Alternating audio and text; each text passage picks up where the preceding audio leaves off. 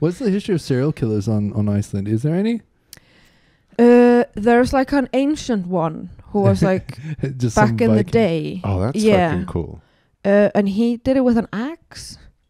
Uh, kill some people. It's very Dude, what, specific. what is? Do, Yeah. you, do you know the name? Is it like a? Uh, Axlarbjörn. That's what Ax- it's called. it's called Axel Bill. Axlarbjörn. Oh, Bien. Axel Bien. So, which means Bill, Bill the Axeman. Yeah, uh, Björn the Axeman. Bjorn the Axeman. Can yeah. you can you say the name please one more time? Axlarbjörn. Okay, can you say it now, Harry? Axel Bjorn. okay, yeah. It's not bad. He's getting See? there. You see, my Viking blood is Yeah, starting yeah, to wake up here. Your blue eyes are just shimmering all of a sudden.